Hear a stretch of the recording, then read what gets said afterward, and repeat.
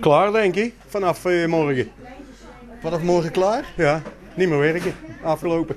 Het liep vanochtend storm bij tabakspeciaalzaak Rocado in Uden. De loten gingen er bij tientallen uit.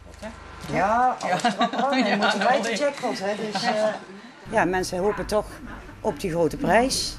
En allemaal zeggen ze, we willen die grote prijs willen we niet. Maar we merken aan de verkoop dat iedereen hem toch wel wil. Ik heb er eh, twee gekocht, kijk. Ja. En Met jackpot neem ik aan, hè? Uiteraard. Uiteraard. Dat worden ze gewoon hoor. Dus al die mensen die staan te wachten, die hebben pech. Zes, de vijf, vier. 41 jaar gewerkt, dus dat zat hè. Je gaat de jackpot binnenhalen, maar dan wel 1,5, hè? Ja, 1 vijf is niet zo werk, dat is ook genoeg. Bij de trekking is het zo, alle loten spelen mee, ook al zijn ze niet verkocht. Als je dus op een niet verkocht lot valt, dan groeit die. Maar de zevende keer, dus deze trekking van 10 augustus, moet die vallen. mooie dingen kopen, mooi huis, mooie auto. Ja, dat zijn de standaard dingen hè. Nou, een heel mooi huis gaan bouwen. Hè? En dan een eh, spiritueel centrum beginnen. Vorig jaar 10 juli was het eh, inderdaad ook zo'n gekke huis. Toen ging ook de 25 miljoen eruit en nu is het 27,5 miljoen. En vanavond zal blijken of de jackpot inderdaad in ieder geval is of niet.